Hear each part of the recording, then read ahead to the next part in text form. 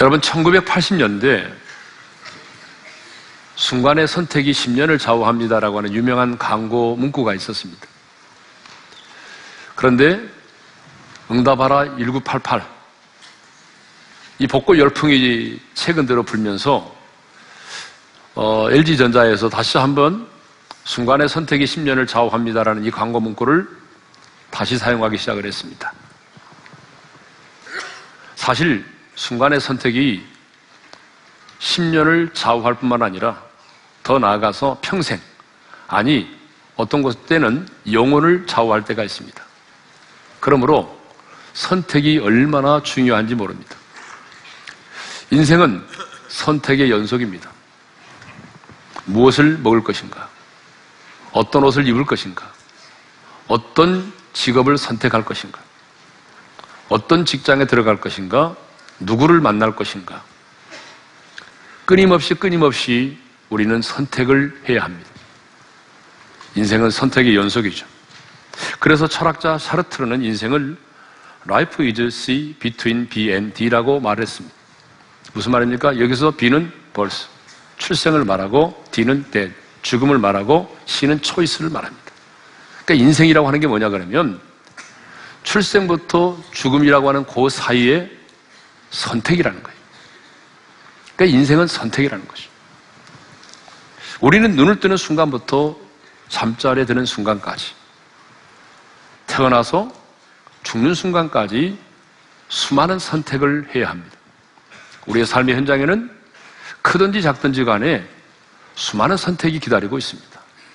인생은 선택의 연속이죠. 그런데 오늘 본문을 보게 되면 하나님 우리에게 이런 말씀을 하십니다. 내가 오늘 너희 앞에 복과 저주를 사망과 생명을 두었다라고 말씀하십니다.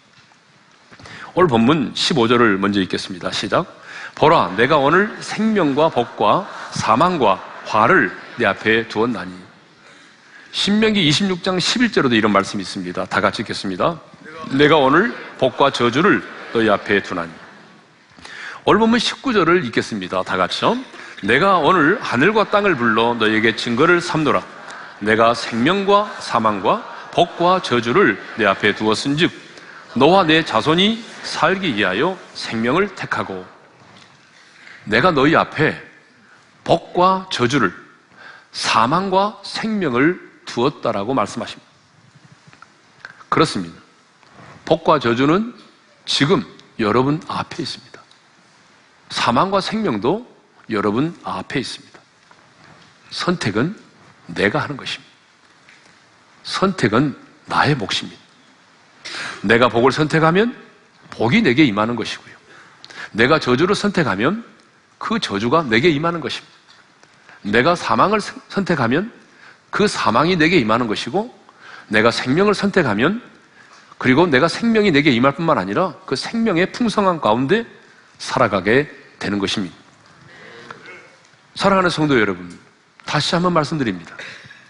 오늘 내 앞에 복과 저주가 있습니다. 오늘 내 인생길에 사망이 있고 생명이 있습니다.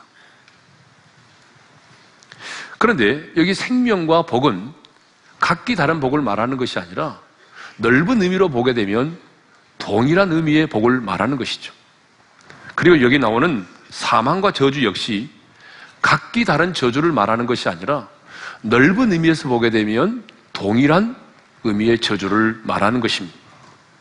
그러므로 생명을 선택하는 것은 복을 선택하는 것이고, 그리고 내가 사망을 선택하는 것은 저주를 선택하는 것입니다.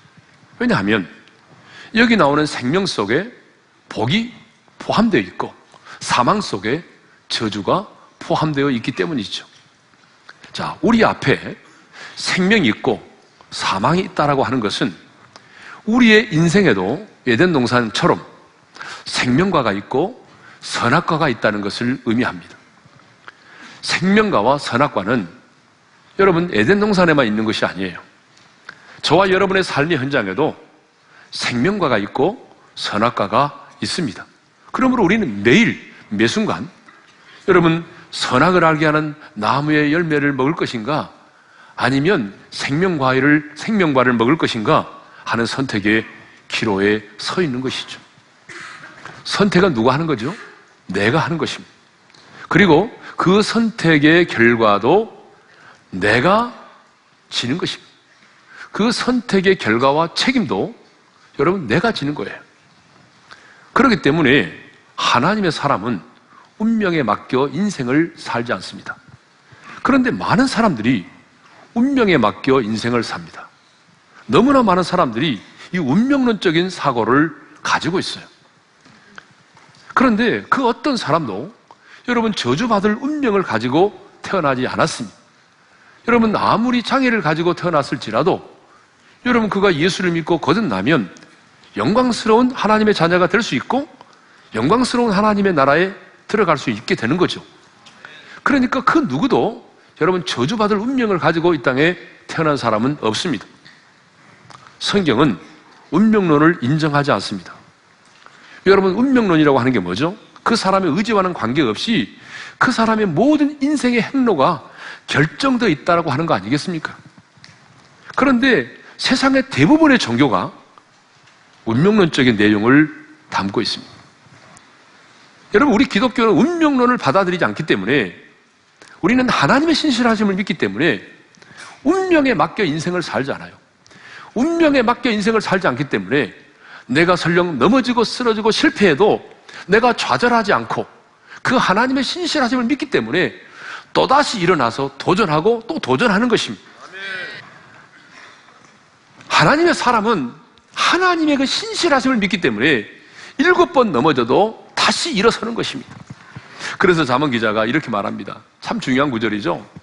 잠언 24장 20, 16절을 읽겠습니다. 시작.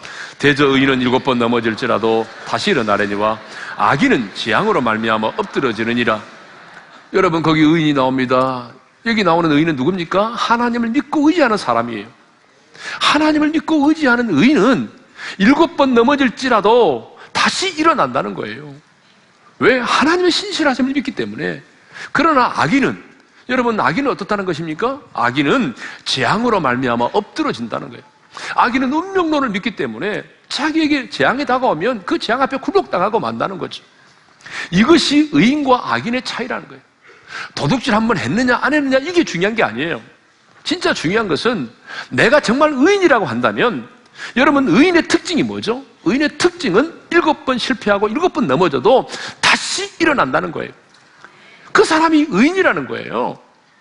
도둑질 했냐 안 했냐 이게 중요한 게 아니고요. 그렇다고 도둑질 하라는 얘기 아닙니다. 하나님 보시기에 의인이 누구냐는 거예요. 정말 하나님을 믿고 의지하고 그 하나님의 신실하심을 믿는 사람은 내가 일곱 번 넘어지고 일곱 번 실패해도 여러분 굴복하지 않고 그 하나님의 신실하심을 믿기 때문에 다시 일어나서 도전한다는 것이에요. 그렇다면 여러분은 의인입니까? 악인입니까? 여러분 자신 한번 잘 생각해 보세요. 여러분의 지금 인생의 그 실패 앞에서 좌절하고 절망하고 여러분 기도할 힘도 잃어버리고 절망 가운데 있다면 여러분 자신을 한번 다시 한번 점검해 보셔야 돼요. 하나님의 사람 의인은 그럴 수 없다는 거예요. 하나님의 사람 의인은 다시 일어섭니다. 7.8기가 그래서 성경에서 나온 말이에요. 이 7.8기가 성경에 있잖아요. 예. 사랑하는 성도 여러분, 복과 저주는 지금 여러분 앞에 있습니다. 사망과 생명은 바로 여러분 앞에 있습니다. 그리심산과 예발산도 지금 여러분 앞에 있습니다. 여러분이 그리심산을 선택하면 그리심산처럼 푸르고 생명의 기운이 약동하는 밝은 삶을 살게 될 것이고 여러분이 예발산을 선택하면 황폐하고 그늘진 인생을 살게 될 것입니다. 신앙은 선택입니다. 따라서 합시다. 신앙은 선택이다. 여러분, 신앙은 선택이에요. 신앙의 문제는 선택의 문제입니다. 아무리 인생을 열심히 살았을지라도 내가 사망을 선택하고 저주를 선택하게 되면 저주받은 인생이 되는 것입니다. 그러므로 여러분, 신앙은 열심과 충성의 문제이기 전에 선택의 문제입니다. 왜냐하면 선택은 인생의 방향을 결정 짓는 것이기 때문입니다. 왜 선택이 중요하냐? 선택은 내 인생의 방향을 결정짓기 때문이죠. 그러면 이제 사망이 아닌 생명을 선택한다는 게 뭐냐는 거죠. 이제 우리는 결정했습니다. 내가 저주가 아닌 복을 선택하기로, 내가 사망이 아닌 생명을 선택하기로. 그렇다면 내 삶의 현장 속에서 내가 사망을 선택하지 않고 생명을 선택한다는 것은 구체적으로 뭐냐는 거죠. 우리 다음 주까지 이 부분을 묵상할 텐데 오늘은 그 첫 번째만을 생각하겠습니다. 오늘 본문이 우리에게 뭘 말하냐면 사망이 아닌 생명을 선택하는 것은 첫째로 하나님을 사랑하는 것이라는 거예요. 뭐라고요? 하나님을 사랑하는 거예요. 예. 하나님을 사랑하는 거래요. 오늘 본문을 보겠습니다. 여러분 15절 16절에 보게 되면 무슨 말씀이죠? 내가 오늘 생명과 복과 그리고 사망과 하를 네 앞에 두었다. 라고 말씀하신 다음에 곧바로 하신 말씀이 뭔지 아세요? 곧바로 이어져 나오는 말씀이 뭐냐면 이 말씀입니다. 16절 다 같이요. 곧 내가 오늘 내게 명령하여 내 하나님 여호와를 사랑하고 여호와를 사랑하는 말씀이 나와요. 여러분 19절과 20절도 마찬가지죠. 내가 생명과 사망과 복과 화, 복과 저주를 내 앞에 두었은즉 너와 내 자손이 살기 위하여 생명을 택하라. 이 말씀이 끝나자마자 곧바로 이어서 나오는 말씀이 뭔지 아세요? 20절에 이런 말씀이죠. 시작. 내 하나님 여호와를 사랑하고. 그러니까 하나님께서 내가 너의 인생길에 네 앞에 폭과 저주, 사망과 생명을 두었다. 그리고 나서 하신 말씀이 뭐냐 그러면 여호와를 사랑하라고 말씀하십니다. 그러니까 무슨 말이죠? 저주가 아닌 복을 선택하고 사망이 아닌 생명을 선택하는 것이 뭐라는 거죠? 그게 바로 하나님을 사랑하는 거라는 거죠. 할렐루야. 하나님을 사랑하는 것이 생명을 선택하는 거예요. 그런데 오늘 우리는 이 땅을 살아가면서 하나님을 사랑하는 것보다 여러분 눈에 보이는 돈을 더 사랑할 때가 얼마나 많아요. 현실적으로 내 자녀를 하나님보다 사랑할 때가 얼마나 많아요. 세상의 유흥과 쾌락을 하나님보다 더 사랑할 때가 얼마나 많습니까? 그런데 여러분, 그 순간은 내가 하나님을 사랑하는 것보다 돈을 선택하면 그 돈이 내게 많은 편리함과 유익을 가져다 주는 것처럼 생각이 되지만 여러분, 시간이 지나놓고 보세요. 내가 돈을 선택했을 때에 그 돈이 과연 내 인생의 행복이었느냐? 아니죠. 저는 보았습니다. 수없이 보았습니다. 그 결과는 저주였다는 사실. 돈 때문에 인격이 파괴되고 돈 때문에 여러분 가정이 깨어지고 무너진 사람을 얼마나 많이 봤습니다. 하나님보다 자식을 더 사랑하고 자식을 선택했는데 결과는 그 자식 때문에 피눈물을 흘리더라 그 말이에요. 시간이 지나고 나니까 어때요? 그것이 내게 복이 아니라 생명이 아니라 화가 되고 저주가 되는 경우가 너무 많습니다. 그래서 하나님은 우리가 말씀합니다. 사망이 아닌 생명을 선택하는 것은 하나님을 사랑하는 것이다. 여러분, 사망이 아닌 생명을 선택하는 게 뭐라고요? 하나님을 사랑하는 것. 하나님을 사랑하는 하나님. 그러면 이제 구체적으로 하나님을 사랑하는 건 뭐죠? 너무 막연하잖아요. 하나님 사랑한다? 말이 아니거든요. 하나님을 사랑하는 게 뭔지 오늘 본문을 보게 되면 우리에게 아주 구체적으로 하나님을 사랑하는 것이 어떤 것인지를 가르쳐 주고 있습니다. 하나님을 사랑하는 것은 첫째로 하나님의 말씀을 지켜 행하는 것이라고 말씀하고 있습니다. 16절 상반절을 읽겠습니다. 시작. 내 하나님 여호와를 사랑하고 그 모든 길로 행하며 그의 명령과 규례와 법도를 지키라 하는 것이라. 자, 여호와를 사랑하는 것이 뭐냐? 그 모든 길로 행하며 그의 명령과 규례와 법도를 지키는 것이라고 분명히 말씀하고 있습니다. 여러분 20절도 마찬가지죠. 읽겠습니다. 시작. 내 하나님 여호와를 사랑하고 그의 말씀을 청종하며 또 그를 의지하라. 여호와를 사랑하는 것은 여러분 여호와의 말씀을 청종하고 그를 의지하는 것이라고 분명히 말씀하고 있습니다. 청종이 뭡니까? 내가 그 말씀을 듣고 순종하는 것이죠. 그러니까 하나님을 사랑한다고 하는 것은 말이 아니에요. 하나님을 사랑하는 것은 그 하나님의 말씀을 듣고 내가 그 하나님의 말씀대로 순종하며 사는 것입니다. 그래서 예수님도 요한복음 14장 15절에서 이렇게 말씀하셨습니다. 다 같이 읽습니다. 시작. 너희가 나를 사랑하면 나의 계명을 지키리라. 진짜 네가 나를 사랑한다면 내 계명을 지키라. 아무리 입술로 사랑한다고 해도 내 계명을 지키지 않은 자는 나를 사랑하는 자가 아니라 그 얘기죠. 주님은 지금 우리에게 말씀에 대한 순종을 뭐와 결부시키냐면 사랑과 결부시키고 있습니다. 주님의 말씀에 대한 순종을 주님에 대한 사랑과 결부시키고 있다. 순종과 사랑은 뗄래야 뗄 수가 없다는 얘기죠. 사도 요한 역시 요한일서 5장 3절에서 이렇게 말씀하고 있습니다. 다 같이요. 하나님을 사랑하는 것은 이것이니 우리가 그의 계명들을 지키는 것이라. 그의 계명들은 무거운 것이 아니로다. 이 말씀을 정리하면 이렇습니다. 우리가 하나님을 사랑한다고 하는 것은 계명을 지키는 것이다. 그런데 그 계명은 무거운 것이 아니다라고 하는 거죠. 무슨 말입니까? 하나님을 정말로 사랑하는 사람에게는 그 계명을 지키는 것이 그 계명을 지키는 것이 뭐라는 거죠? 무겁지 않다는 거예요. 그래서 오늘 본문을 보게 되면 그 말씀을 청종하라. 그 규례와 법도를 지키라. 이렇게 말씀하는데 이 말씀 이전에 무슨 말씀을 먼저 하냐 그러면 여호와를 사랑하라는 말씀을 먼저 하고 있다는 거예요. 그러니까 말씀에 대한 순종보다도 하나님을 사랑하라는 말씀이 먼저 나온다는 거죠. 그러니까 여러분 다시 한번 묻겠습니다. 순종이 먼저입니까? 사랑이 먼저입니까? 사랑이 먼저입니까? 순종이 먼저입니까? 진짜 헷갈리는 분 계시네요. 여러분, 사랑이 먼저라는 거죠. 순종이 먼저가 아니라는 거예요. 내가 하나님을 진정으로 사랑할 때 여러분 하나님의 말씀을 기쁨과 즐거움으로 지킬 수 있다는 거죠. 왜 부모가 자식을 위해서 그토록 희생하며 헌신합니까? 예? 그 한 가지 이유는 내가 그 자식을 사랑하기 때문에. 자식을 사랑하기 때문에 그 부모는 자식을 위해서 그렇게 많은 희생을 하는 거예요. 왜? 내가 사랑하니까. 사랑하기 때문에. 하나님은 나와 하나님과의 관계가 어떤 관계가 되기를 원하냐면 의무적인 관계가 되기를 원치 않습니다. 사랑의 관계가 되기를 원하십니다. 율법적으로 그래 내가 이렇게 순종하지 않으면 한번 얻어맞지? 오늘 내가 예배 드리지 않으면 일주일에 무슨 일이 일어날 거야? 그러니까 마지 못해서 억지로 어쩔 수 없이 11조를 드리고 어쩔 수 없이 주일 성수하고 어쩔 수 없이 용서하고 그런 게 아니라는 거예요. 하나님은 나와 하나님과의 관계가 율법적인 관계, 의무적인 관계, 마지 못해 하는 그런 관계가 되는 것이 아니라 정말 사랑의 관계가 되기를 원하십니다.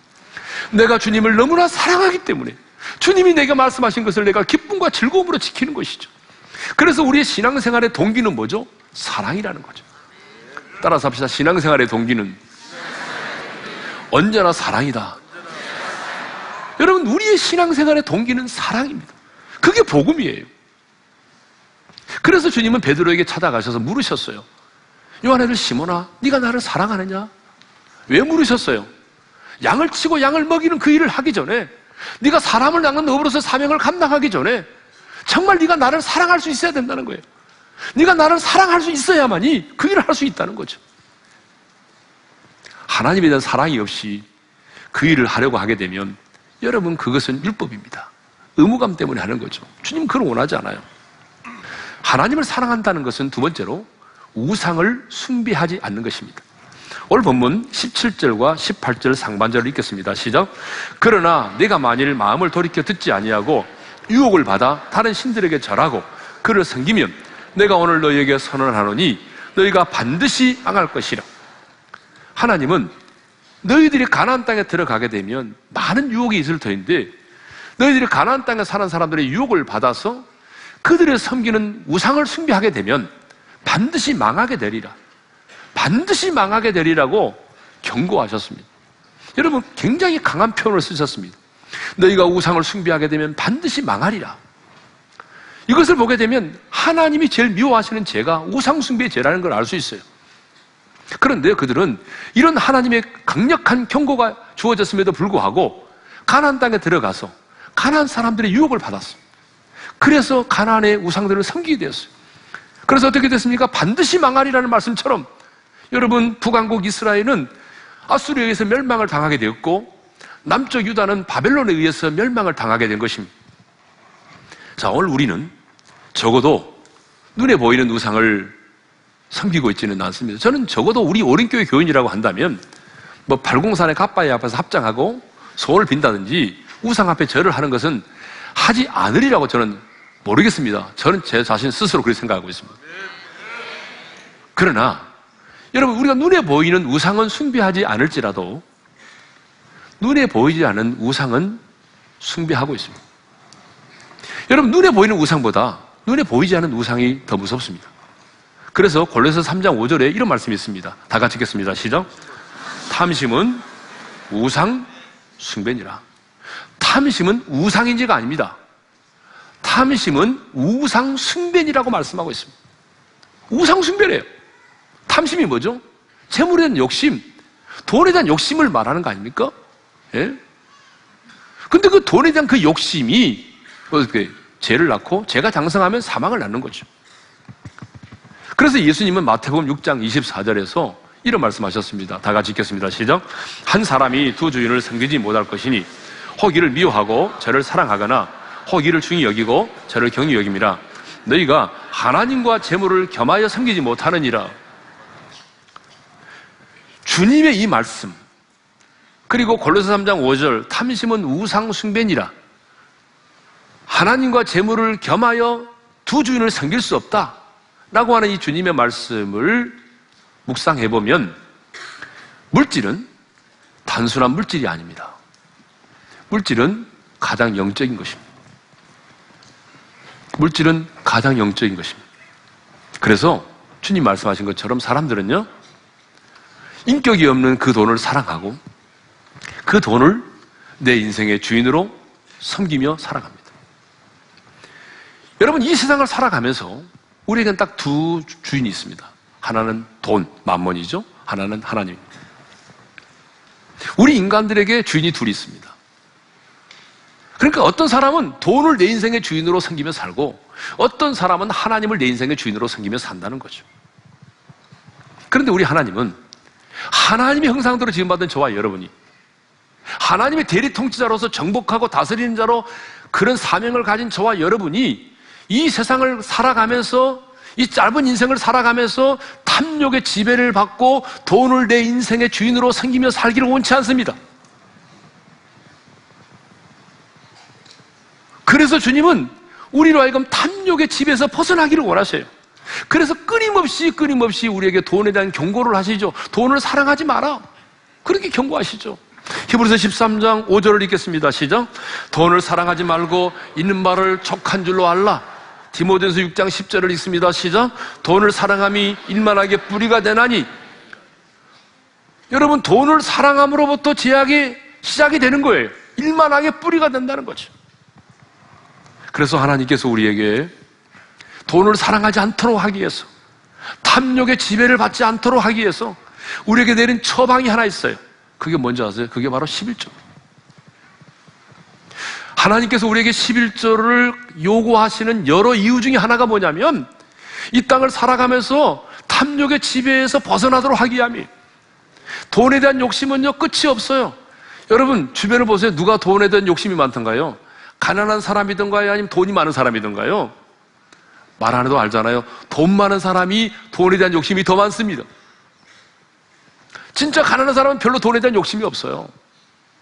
돈 맛을 알기 때문에 여러분 돈을 많이 가진 사람이 가진 사람이 돈에 대한 욕심이 더 강해요. 그래서 하나님은 우리가 이 땅을 살아가면서 탐욕의 지배에서 벗어나도록 하기 위해서 돈이 내 인생의 주인이 아니라 하나님이 내 인생의 주인임을 고백하도록 하는 신앙의 고백으로 우리에게 11조를 드리도록 요구하고 있는 것입니다. 그래서 하나님은요, 자신의 이름의 명예를 걸고 나를 시험해 보라고까지 말씀하시면서 우리에게 온전한 11조를 드리도록 요구하고 있는 거예요. 여러분 말라기 3장 10절을 읽겠습니다. 시작. 망군의 여호와가 이르노라 너희의 온전한 11조를 창고에 들여 나의 집에 양식이 있게 하고 그것으로 나를 시험하여 내가 하늘문을 열고 너에게 복을 쌓을 것이 없도록 붙지 아니하나 보라. 여러분 우리가 11조를 드리는 것은 단순히 복을 받기 위한 수단이 아니에요. 우리의 신앙의 고백이 중요해요. 돈이 내 인생의 주인이 아닙니다. 주님, 주님만이 내 인생의 주인이십니다. 내 안에 이 불타오르는 탐욕의 지배로부터 벗어나게 도와주십시오. 이 신앙의 고백이 바로 여러분 온전한 11조를 드리는 거예요. 그러니까 여러분 뭐 11조를 드리지 않은 사람들은 여러 가지 이유가 있겠지만 분명한 한 가지 사실은 그분은 하나님을 내 인생의 주인으로 모시고 사는 사람이 아닙니다. 말은 하지 않지만 여러분 11조를 드리지 못하는 사람의 특징이 뭐냐면 마음속에 돈이 내 인생의 주인이 되어 있기 때문입니다. 돈이 내 인생의 주인이에요. 네. 하나님은 하나님의 사람인 우리를 늘 평가하시죠. 그런데 그 평가의 기준이 뭐라고 그랬어요? 얼마 전에 우리 묵상한 것 같은데요. 우리 한 사람 한 사람 하나님의 사람을 평가하시는 하나님의 기준이 있습니다. 그 기준이 뭐라고 그랬죠? 믿음이라고 그랬어요. 하나님의 평가의 기준은 언제나 믿음입니다. 그렇죠? 그래서 내 믿음이 크도다라고 말씀하셨고 믿음이 작다라고 책망하셨어요. 여러분 하나님이 우리 여러분을 평가하실 때의 기준이 있어요. 돈이 얼마나 있느냐 없느냐 아닙니다. 얼마나 똑똑하냐 스펙이 얼마나 좋으냐 얼마나 많은 달란트를 가지고 있느냐 여러분 그것을 가지고 하나님 우리를 평가하지 않아요. 우리를 평가하시는 하나님의 기준은 언제나 믿음입니다. 내가 얼마나 믿음으로 반응하느냐 내가 얼마나 믿음으로 순종하느냐 그것이 하나님의 평가의 기준이라 그 말이에요.